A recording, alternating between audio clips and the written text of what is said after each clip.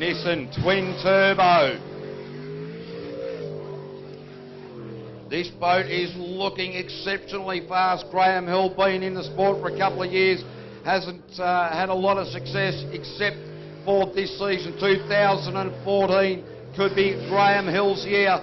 This boat looking really good, was sneaking under the radar, took a uh, round win at Bay Park for round two, had a big stack in the top three at Meremere. Got the boat all twisted. They do a lot of work to this hull, but it's looking really good at the moment. Capable of unleashing some 1,400 horsepower, but they haven't dialed the full amount of snot into this engine for Graham Hill. Now just opening it up for the finish line. Nice run, Graham Hill, 48.199, straight to the top of the table. And point